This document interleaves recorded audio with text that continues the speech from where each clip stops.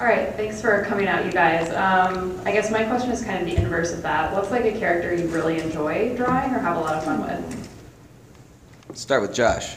Um, for me, it's probably uh, Optimus Prime because I know him by heart, and it's really easy to just whip it out without thinking about it.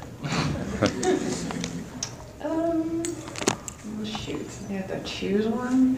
Probably Uh, Starscream, right? No.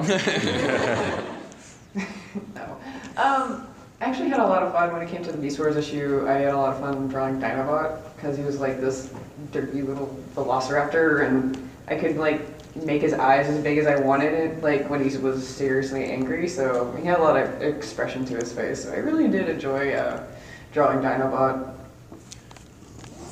Uh, kind of related to another question, I like the characters that have faces, so you can kind of, you know, and the characters that have distinct personalities, like you know, Blaster or Starscream, you know, the ones that you can really get a good expression out of. Um, the one I, I love drawing and I miss the most is is All Hail Megatron era Kup with the Cygar.